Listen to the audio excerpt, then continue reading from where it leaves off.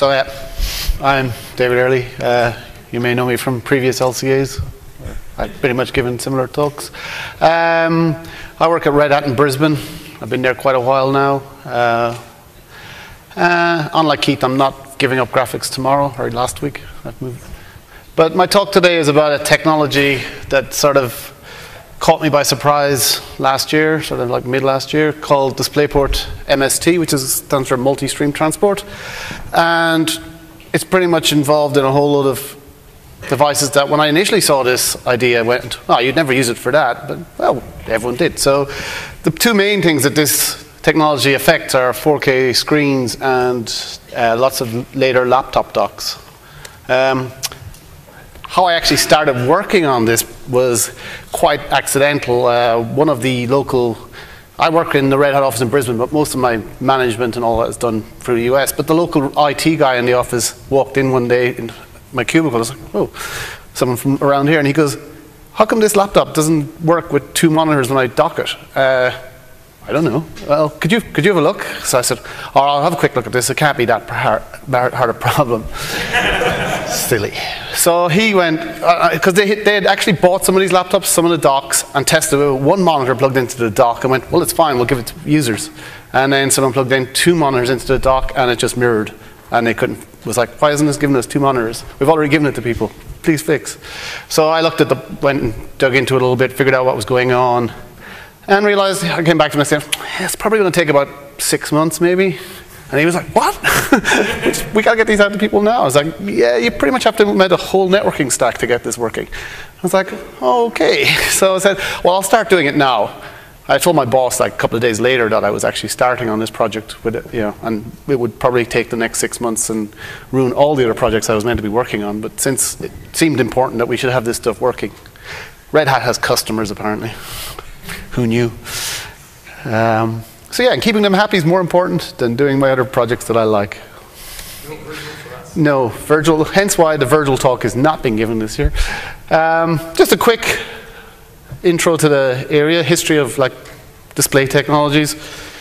I'm not going too far back. I'm not talking, like, I'll start at VGA. no need to keep going further back. But VGA was like probably the most sort of successful of the display technologies that's been around. It was like analog based. It did everything for analog monitors. People were quite happy with it for many years. But things have to go digital. There's no point having an analog signal in your loop when everything is digital on either end, especially with flat panels. So along came DVI. DVI started out as those four little pins in the cross are actually a VGA port and the rest has some pins of the VGA port and a whole set of digital channels. So it was like an evolution of VGA. You could get DVI that was just digital. You could get DVI that had digital and analog transports, and you could get DVI that was just analog, which was actually VGA. But I don't think anyone ever shipped that in a product. There was a standard, it just wasn't in the products. Um, DVI was good also. It had sort of extra pins. So they put two digital channels into DVI. The second digital channel started being used for a thing called dual link DVI, which was only certain graphics cards would support this, and it was for big monitors. At the time, big monitors usually meant Apple, I think Apple 30 inch, Dell 30 inches, that sort of monitors used dual link DVI. 2560 by X, big numbers. Uh, for the time, not big numbers now. Um, but uh, DVI sort of got remodeled and put in a different shaped connector with only one link in it called HDMI, and that was done by a different consortium of people because it's the computer industry is not the same as the entertainment industry, and everyone likes their own standard, and everyone likes to charge money for different things. So HDMI came along. HDMI is one of those things where you have to got to pay the HDMI people for using their connector. Their cables cost seventy thousand million dollars if you buy them with gold plating on either end, even though they're the same cables that cost five dollars. But you know, it was a good scam, and people are still running with it. It's, it's a good call. And around the same time as HDMI, DisplayPort started coming out, probably a bit later, but not too much different. But DisplayPort was the sort of computer industry attempt to come up with a new standard. They went a lot further. HDMI is pretty much DVI with a different plug and then adding features to it and making it, you know, more stuff for TVs and stuff. DisplayPort was like, ah, throw everything out the window, and we'll of pretty much start again with a cool socket, cool plug. And so here's a nice picture of what the sort of way DisplayPort looks. You've got a receiver and transmitter. And between them, you've got a big, large link, main link. You've got an AUX CH channel and a hot plug interrupt. Um, the main link consists of four, up to four channels, and the four channels can have different data rates on them depending on much you need. So the original DisplayLink data rate was 162 megabits a second, along with 270 megabits a second. So each channel could do that, and then you could have four channels. So that was quite a good bit of bandwidth. The DisplayPort 1.2 spec has upped that to 540 megabits, uh, which is called 1.2 high bit rate. And there's another one coming in DisplayPort 1.3, which I'll mention later on. Um, but the idea was depending on what you plugged in, you didn't need to bring up all the channels. It's kind of like a, sort of like PCI Express, similar, like you have a number of lanes and you don't want to use all the lanes. So this was the same thing. You'd have, some monitors would only need one channel, some monitors would only need one channel at the low bit rate, some might need two channels at the low bit rate. There was also some silly things a spec didn't quite say, like, well, if a monitor could do it with either two lanes at the low rate or one lane at the high rate, which one should I pick? And it seemed like some people picked one and some people picked the other. So there was actually some little incompatibilities even after they'd specified all of this. But the main link pretty much transports all the data.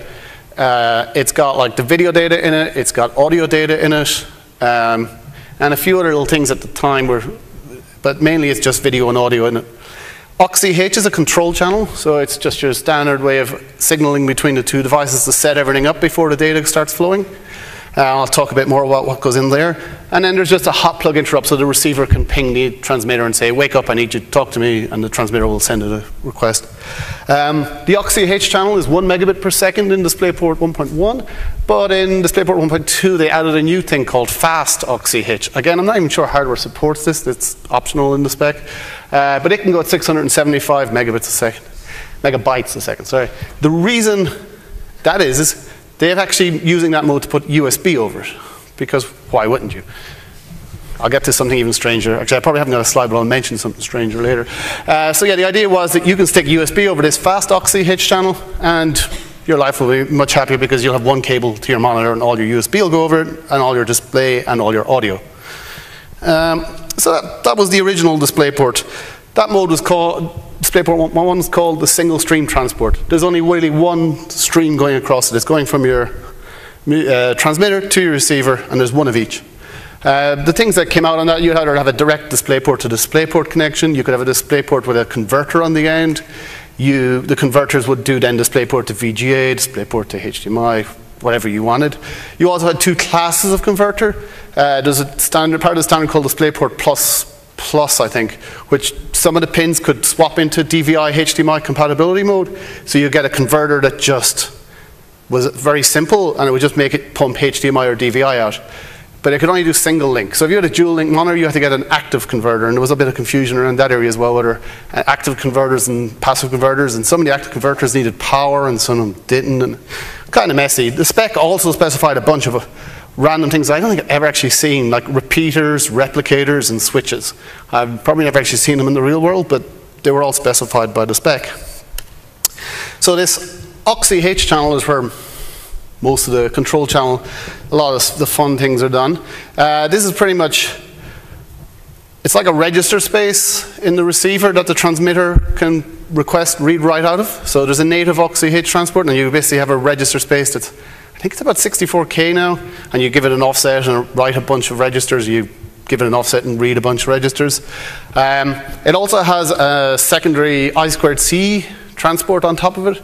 So for compatibility with old monitors that needed like EDID, well, not old, all monitors still use it, but EDID, um, DDC, CI, all of these other interfaces that run over I squared C, instead of trying to redo those all with AUX-CH, they just made an I squared C sort of simulation, emulation on top of the AUX-CH channel.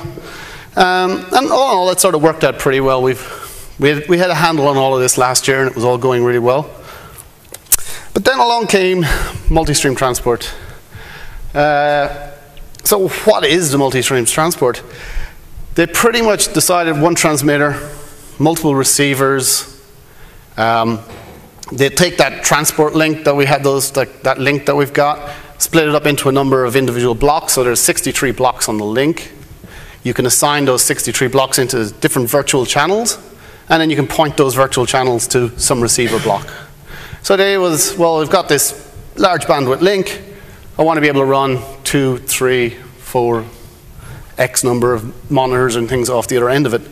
Um, how this is implemented, I'll get a little bit into it, but I'll get a bit technical after this slide for a couple of slides, just to show you how awesome I am, but otherwise, it's not too bad. Uh, but it's mainly there's, they've sort of layered a whole messaging system on top of a bunch of the DPCD register space. So the DisplayPort register space has, I think it's four, I think they're 48 byte buffers or something really silly that you write messages to go up and get replies back and then messages to go down and get replied back. So there's four of these buffers and you can send these types of messages up and down the, the, the tree. And you can send broadcast messages and a number of other things. Um, here's an example picture from the spec, which I've nicely cleaned up and put into a nicer picture. Um, I hope you can read the line down the bottom. You probably can't, it's behind the things, but I'll say it out anyway. But the idea, if you look at this picture, is you've got two source devices, you've got five branch devices, you've got like five sinks sitting all off them. The numbers are, they're called the port numbers. So the source one looks out at the zero port, it sees branch two. So the thing at the end is say if sink one relative to source 2.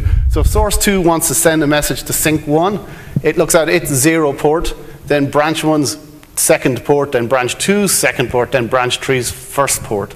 And that's how it sends a sideband over the AUX CH. It starts it at the top and gives it a, an address. So every device in the tree has a GUID, a global identifier. It's 128 bits, yeah, 128 bit number. Um, nearly every device I've gotten, you, you, I've had to program that into it at the start. When it connects, they generally don't have anything in them. The spec says the only time it needs to be initialized is if you have a device that is both a DisplayPort device and a USB device. Some property of the USB device needs to show the GUID the same as some property of the DisplayPort device so you can match them up. Otherwise, the OS has to assign random GUIDs to all the devices. The main use for the GUID is to avoid loops. You can actually plug these things back into each other, and the whole idea is that you should detect that and not try and send messages the wrong way or have messages going around in circles. Each of these devices at the bottom, you can probably just see a 0.2.2.1 line. That's called a relative address. So you want to send a message to someone, you need to know his relative address. You, you stick stuff into a buffer with that address and the packet on it, and off it goes to the guy, whoever wants to sit at the end, one of the sinks. I have not built something that looks like this. I, I don't have enough devices. In fact, I think I've only got like source one and maybe two other levels. And even then, that was quite hard and messy to get working. Um, in terms of payload and bandwidth management, you have to manage the bandwidth. As I said, it's cut into 63 slots. You can have up to 63 virtual channels. Probably not so useful to have 63 of them, but that's how many you get. The way it works is they have a number called the payload bandwidth number. Uh, if you take the number, oh, for one lane at 162, uh, we get a bandwidth number of three. These are like just a, for four lanes at 540, you've got a bandwidth number of 40. So the, the idea is every one of those 63 slots, at this rate, you would need three PBN. So you got three by 63 at 1162. At 4, 540, you got 40 by 63. So as an example, this mode, a 1920 mode by 1200 mode at 60 hertz with 30 bits per pixel, this is the example given in the spec, requires 689 PBNs. So you got to say, well, that's not going to work at one lane at 162. And so how many, I should have divided it out on screen, but yeah, divide 689 by 40 in your head and you'll get the idea of how many of the 63 slots you're going to need. And that assigns for that monitor. And the next monitor, you need to do another chunk of slots. Um, and this worked really well if you hadn't got big monitors. But that, I will get to why this is a problem later. But that's, that's sort of the basics of what MST is. It's like a layer over DisplayPort that cuts up the DisplayPort transport into 63 bits and lets you address individual devices on the end of it. Again, those, those uh, slots can be used mostly for video, but there's also audio sideband stuff that you can stick over to do the audio transport. Uh, yeah, USB still goes over AUX CH. Just to give you a quick example of some of the, what the protocol looks like, I won't go into too much details on these are not that interesting unless I'd say I'm the only person outside of DisplayPort that has read them, um, and whoever reviewed the patches. But uh, link address. So yeah, there's an address discovery. So you got you're a source, something gets plugged in, you get a hot plugged interrupt. You got to go find out who's there. So link address pretty much is in a you send it out and wait for all the answers to come back, and you find out how many things are in the tree. Um, connection status notify and resource status notify. They're things you receive from back up the tree to say something's changed. So if further down the topology, somebody unplugs a hub or a monitor gets turned off, you'll get a connection status notified to say something's changed, reconfigure things to suit that change. Resource status notify is if the bandwidth require something changes. So maybe some, something, I actually don't really know when you could, you know, this is going to be, maybe a hub gets something else plugged in or it goes into a lower mode or something. In that case, you get a resource status notify saying, I used to have this much bandwidth, I've only got this much now, or I used to have a small amount, I have more now. It lets it dynamically change. Uh, enum path resources uh, is a way that you go, okay, I want to get a connection from my source to that sink. How many PBNs can I get? So what, what, what bandwidth exists in the system right now for me to put on that, just to check that when I get a mode, if I need 600 PBNs and there's only 400 on that link, I can't give that mode to the user. So it just allows you to block cases that you know you can't fit into. Uh, allocate payload is, okay, I, I think there's enough bandwidth, reserve that bandwidth for my channel. And clear payload ID table is when, oh, oh something's happened bad, everything reset, just nuke the tables. So they're, they're pretty much the, the data setup and the, the, the, discovery stuff. There's not a huge amount of messaging. The sideband message protocol is kind of messy. There's like two different CRCs involved in it. You got to split the messages up into small chunks, and some of the messages are quite long. The spec is kind of badly written. It's hard to sometimes interpret whether it should be big endian or little endian, or exactly where things go. And because I was writing this against hardware I had not really much knowledge of and I had no examples for, it took me quite a while of just sticking numbers in and hoping something came back. Eventually something did though. I think it was about two months, but about that time. um, the MST, these are more like, so you've got device down the tree that's a DisplayPort device and you want to talk to it just like it was locally. So you can do, ask it to remote DPCD so you can look at its registers. Remote DPCD read and write, you don't, I don't tend to use them. I don't think I've actually had to use them at all so far in this in the way I've written this. Uh, remote I squared C read and remote I squared C write, you want those because you want to be able to get the things like the EDID, display ID, all these you know, things that happen over legacy I squared C buses. So they're quite useful things to have. Uh, use them a lot. And then we've got power control, so you can say turn yourself off, turn yourself on, because you can do that locally with uh, the aux channel as well. So that sort of like covers the bones of the spec. The spec is not a public spec either, which is a bit of a problem. You have to be a member of VESA. Uh, I'll say no more about my membership status because I'll probably get in trouble. But I have a copy of the spec, and I implemented it from the copy. Uh, I had a copy of a, a, draft copy of the spec. Lucky somebody gave me the real one because the draft had quite substantial differences in a number of areas, which confused me for a while. But that's the sort of basics of it. There's a bunch of code in the Linux kernel it's not actually a huge amount of code yet, but there's a bunch of code in the kernel. If you want interested in it, join VESA. No, don't. Actually, just talk to me or talk to anyone else. it's definitely a, it's a, it was an interesting project to try to take on from scratch. I had no idea about it before the guy dropped the stuff on my desk, and Nick, it, it was it was quite interesting. But so that was the pro why is this being used? What was it for? I originally heard of this spec the idea behind this a few years ago, I say about two or three years ago, when DisplayPort first came out, there was a promise of daisy chaining. That was all we ever really heard about. There was, oh, you could plug a monitor into your computer and plug another monitor into the monitor, and it would make things easier. And we had some customers who were like, oh, we've got like three monitors on our desk, and we'd rather not have to run three cables down around and underneath things. Could we do it one? And that was the only sort of promise I'd really heard about it. I hadn't really thought about the, how is this going to be used. So I, that's why I was so surprised when this turned up in laptop docks, because why? it just seems like why does this why does this make sense in laptop docks? It seems like a lot overkill, and to be honest, I still think it's overkill. But hardware, yeah, wires. It basically all it does is it reduces the number of wires going from the dock, from the laptop to the dock, from If you've got a VGA port and a HDMI port on your dock, or VGA, DVI, whatever combinations, they all require their own channels and wires. This allows them to run, essentially, I'd say, a DisplayPort set of wires. So like six wires true. And then they've got a smart device in the dock. And then that smart device, actually, calling it smart is probably not a great idea. They have, a, they have a device that claims to be smart in the dock. Those things are, again, it's written by firmware guys. so that explains the level of how smart it can be. It locks up a lot. And the only solution is to power everything off. Guess how much fun that was. So, but laptop dock manufacturers love this because it saves them wires. And that makes them happy. So it showed up in pretty much everyone's, I think all the, the Lenovo's, all the Dells, seen it in like three or four places now, all the docks are using it.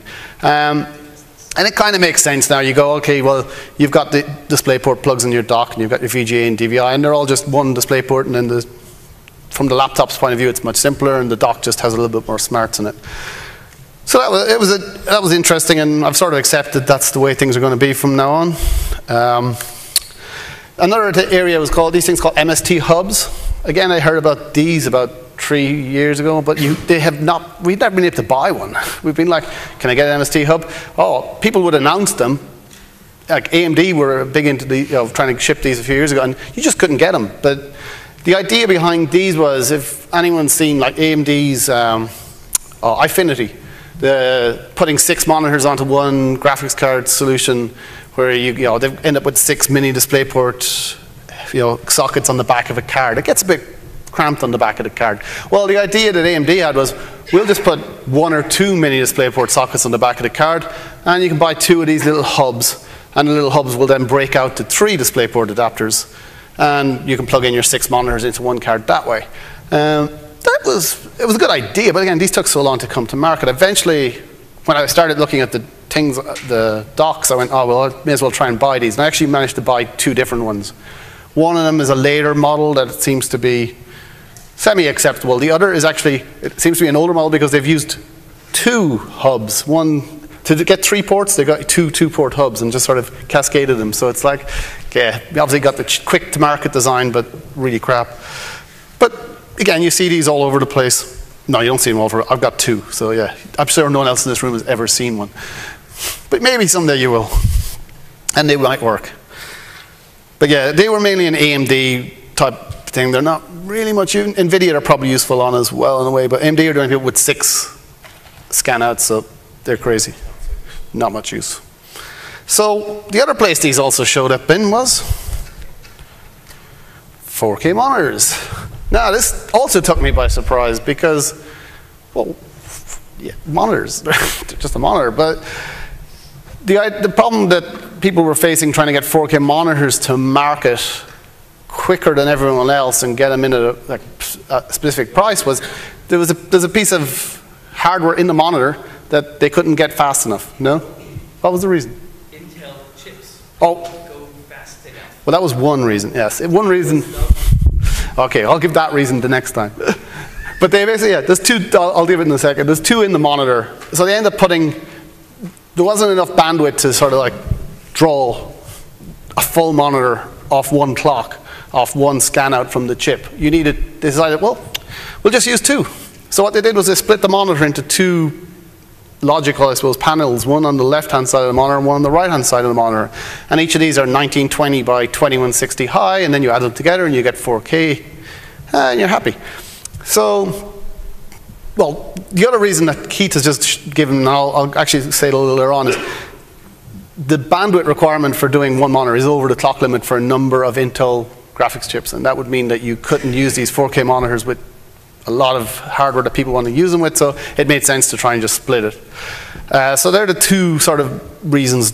The hardware has caught up, you can get 4K. So there's two types of 4K monitor on the market at the moment, and this is why it gets annoying, and that's why 4K is going to be a bit of a pain to support. And there's single stream 4K monitors. You get those from Acer and Samsung, I think are the two ones I've seen.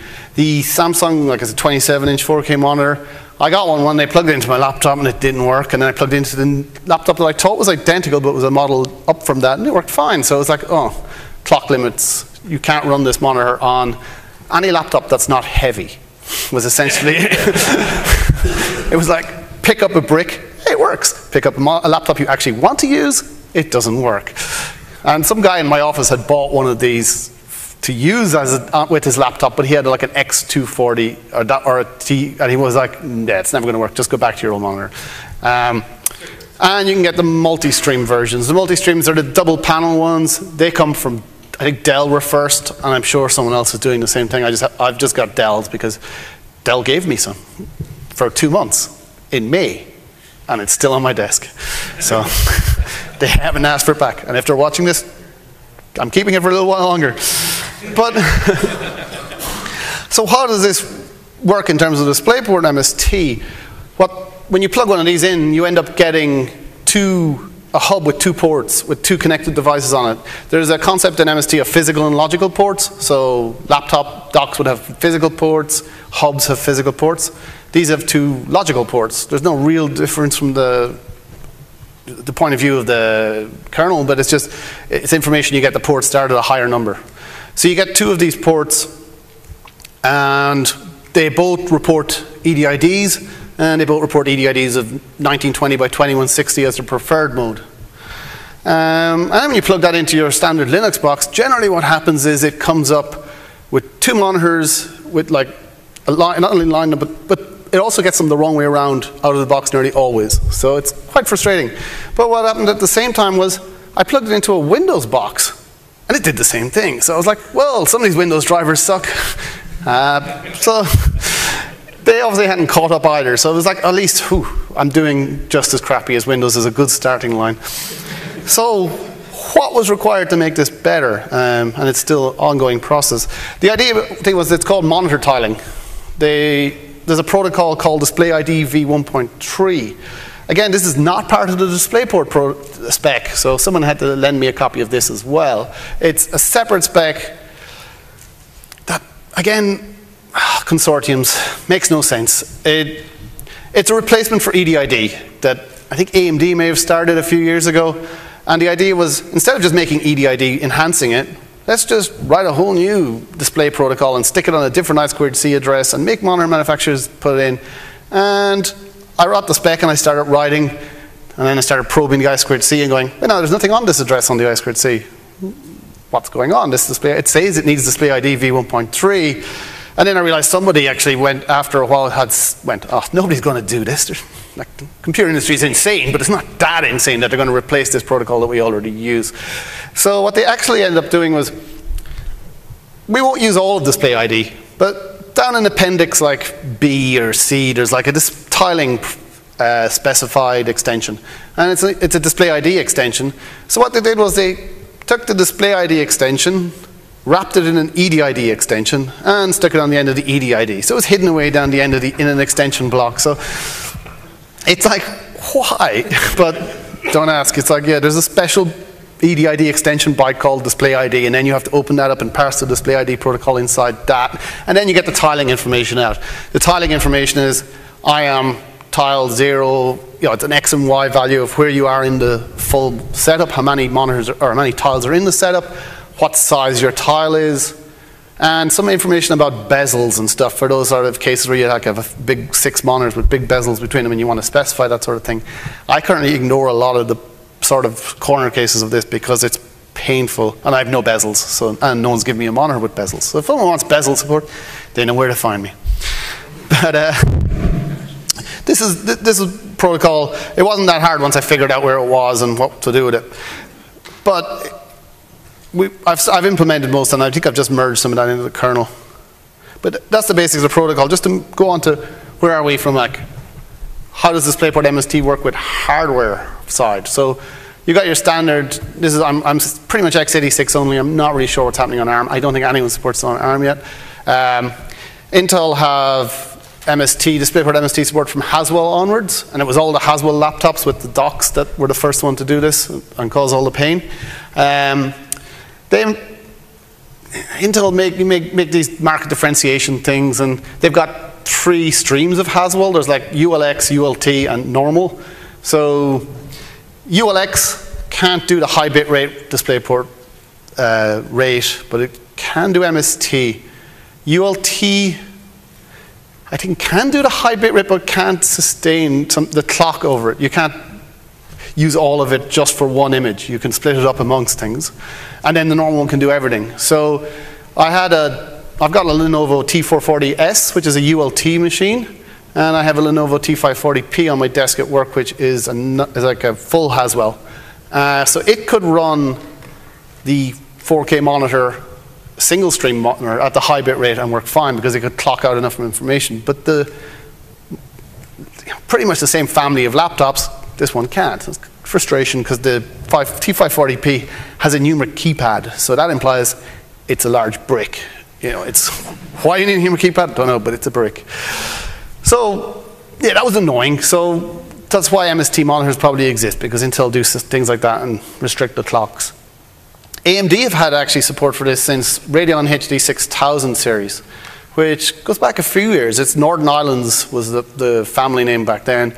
Uh, like I dug out a, a Cayman card I had, I think I've had it maybe three years, maybe four years, could even be a bit longer, and stuck it into my desktop and wrote support for it and plugged two 4K monitors into it and it mostly worked. I was like, well, it's not perfect, but for a couple of weeks' work, it was like, oh wow, that's really old hardware and it mostly just works. Uh, probably because AMD did a lot of work on specifying DisplayPort MST.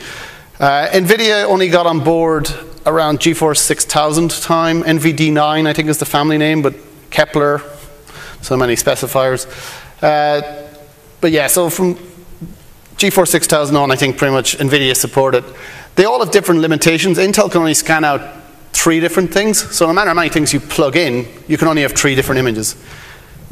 Most Radeons can scan out six and most NVIDIAs can do four. So there's different ranges of how much things you can plug in at one time and get away with seeing. Again, it's going to make purchasing decisions painful, but that's why you buy support from Red Hat. Free ad time. so, driver status. Um, I first worked on the i915 for this because that was the laptop I had, and that's what Red Hat needed for internally, and we've, so I had to get it working for the docks. Uh, we merged it to the kernel for 317, I think it was. Uh, we added, I've been adding support for the tile stuff, only just got merged. It's in, I think it's in DRM Next right now. I, yeah, I don't think it's been merged yet. It's in, DRM Next for the next merge window. But I could be wrong. I'm only a DRM maintainer, so I even forget what I'm doing. Um, AMD, I actually have patches sitting on my machine. I've been meaning to send them out, but there's still a couple of small corner cases I'd like to fix, but it mostly works. It mostly works with the monitors. When I've got one of the hubs plugged in and I plug in some crappy old Dell monitors I found under my desk, they don't work very well. At certain resolutions they work and some they don't, so bit of a pain. Nouveau, Ben Skeggs sits next to me. I've given him the hubs. He played around. Like he's got an implementation that works, but he wants to clean it up as well. And we had some. I think he's waiting on me to get the Radeon finished so he can just copy what I did. So we'll probably hopefully get that soon. In terms of binary drivers, fglrx and NVIDIA both support the MST stuff. The tiling stuff is actually something that we're all working on. Well, not all. I say all. NVIDIA are interested in us working on it, and nobody knows what fglrx does because we don't talk to those. They don't talk to us. But overall, what does it mean for the rest of the stack? So this kernel support is all sort of there now. Well, the problem was we try to hide these crazy monitors in the kernel. Everyone back, I went to Chicago about six months ago, talked to Keith, talked to Linus. Everyone's going to oh, hide this in the kernel, hide this in the kernel. It's crazy. You can't let people see the fact that it's two monitors. But I'm going, I know Windows hasn't hidden this. And I know Mac OS probably hasn't hidden this. And then I went and tried to hide it. And spent probably two weeks, three weeks hacking away going, I got to hide this. But there was no nice way to hide it. I tried my best. I think I'd, I'd, tried twice on two separate occasions to go from scratch and do it. But there's just so many.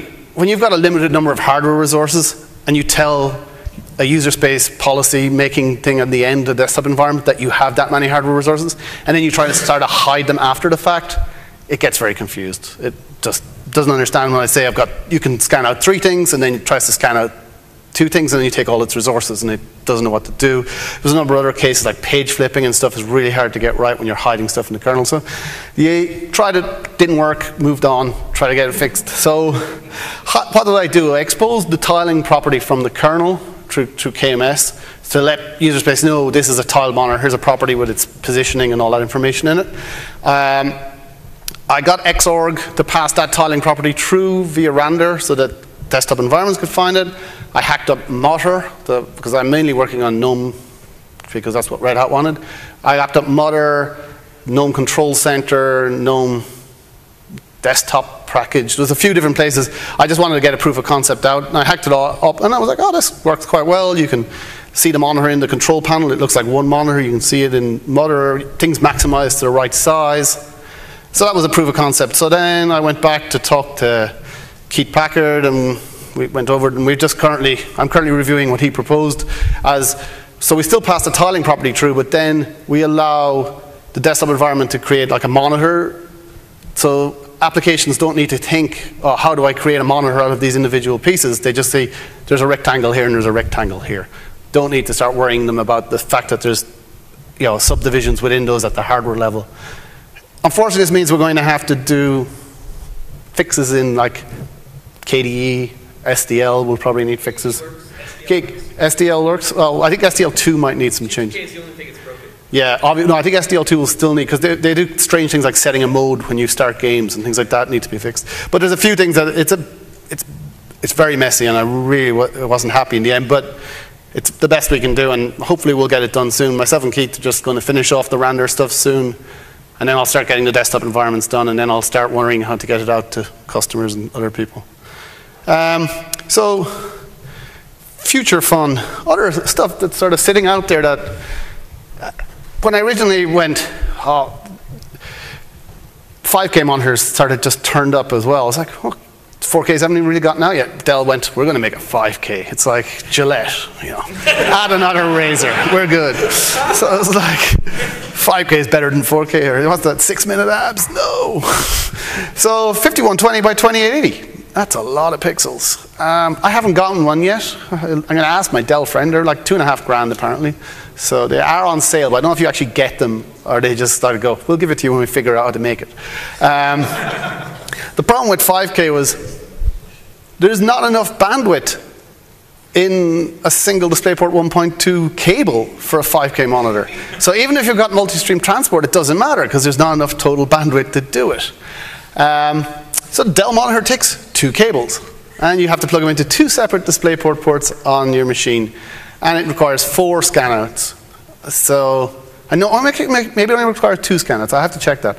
It would be really annoying for Intel if it required four, but it could do. yeah, I think it's okay to do half. Oh, yes, probably not.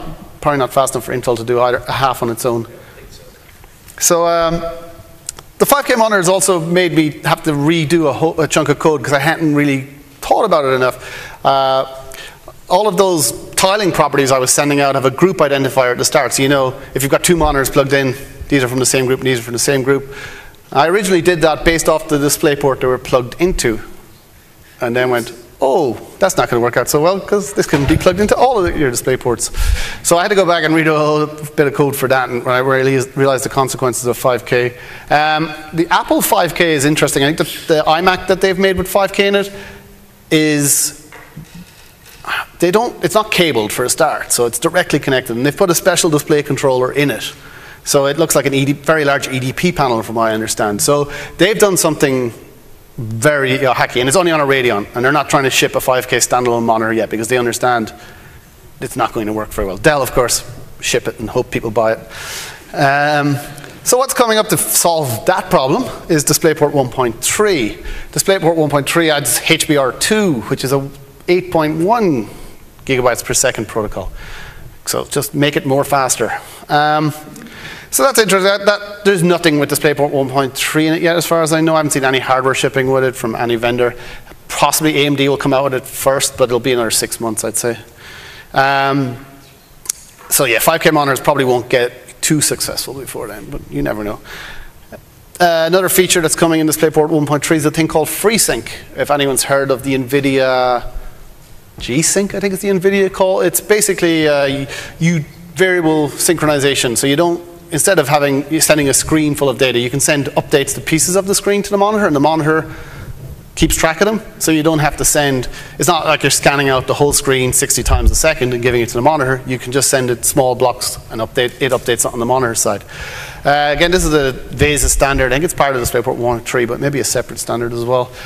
I, unless one of these monitors and one of the cards it supports it falls into my lap, I probably won't work on it, but like usual, things do fall out of the sky when you least expect them. Um, one other thing I actually haven't got on here, but also I just noticed the other day is USB 3.1 is has just been sort of announced and more information has come out about it. And, you know, DisplayPort guys went and put USB over DisplayPort, so the USB guys went, well, we're going to put DisplayPort over USB.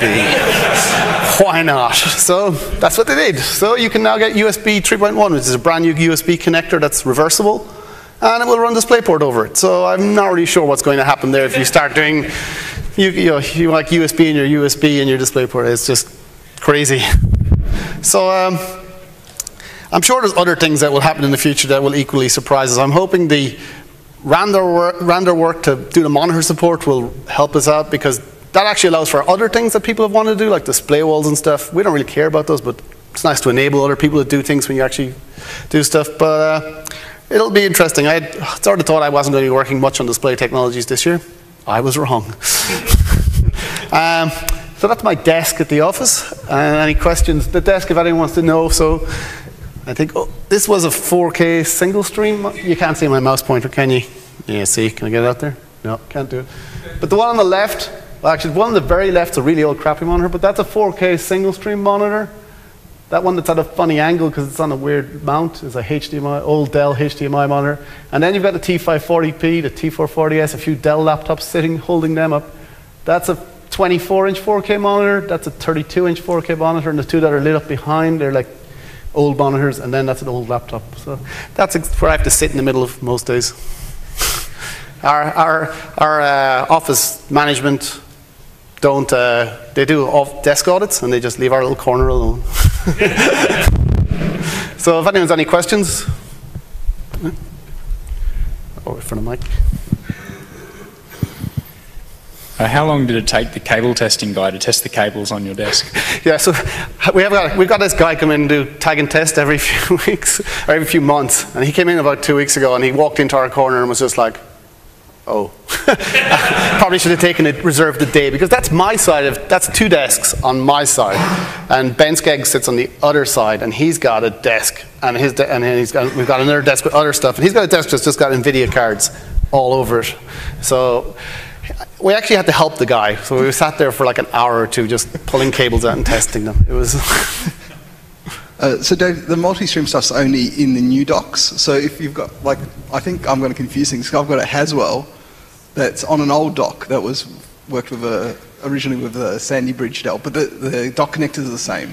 So does that mean the dock wouldn't be using the multi-stream because it's too old to have? Yeah, the dock requires smart. So if it's a Haswell plugged into an old dock, which I thought they'd changed the connector sufficiently. No, no. Or maybe some laptop manufacturers left both set of pins. Dell's Latitude ones go back, I think, three generations. So the same dock that worked with, uh, I can't remember, Sandy Bridge, Ivy Bridge, still works with Haswell. Oh, right, so they probably left all the pieces Mostly works. I've had the motherboard changed three times. But. There's also another area, that just reminded me, there's another thing called of USB docks, which is a separate project which I also have done work, but it's DisplayLink is the protocol technology company that does that, and they don't tell us how they work, and it's all encrypted. And I've wasted a few months on that lately just because I don't like them. But um, that's another project where, because a lot of USB, a lot of laptops are coming with these USB 3 docks for the cheaper end, and people really want them to work as well.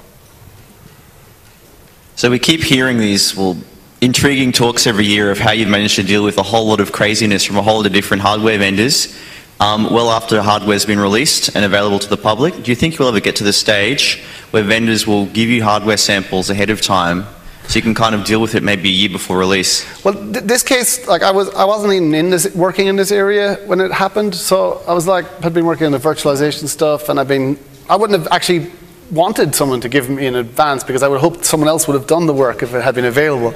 Um, you know, I asked a few people, and like, are you actually going to do this? And it's like, oh yeah, it's on our list. But it was like, I, only, the only reason I actually started this was because Red Hat had the hardware in-house and needed to give it to people in-house. It wasn't even for customers at that point. Like we have customers now, but at that point it was internal people need this and supporting the people that work with you is a good way to make money. so on that topic, we heard from Keith this morning, when, uh, when Ben finally plays StarCrafts, what's going to happen in terms of graphics development?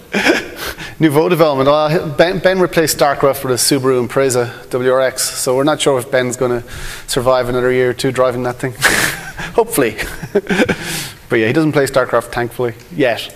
I think he played for a while and then he realised that driving his car fast was much more important. Does that mean you're going to keep the graphics then, or are you going to head back to Vert? Oh, I'm now time slicing between graphics and vert, as in, I work on this mostly when I feel guilty that my monitor doesn't work properly, and then I get tired, I'll work on vert, and then I'll work on the reverse engineering project, and then I'll get bored and work on old graphics cards because because you need a break.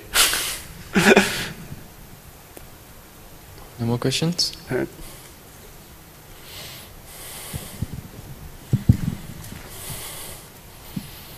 Um, thank you for talking. As an appreciation, a show of appreciation, you can give this. Oh, thank you.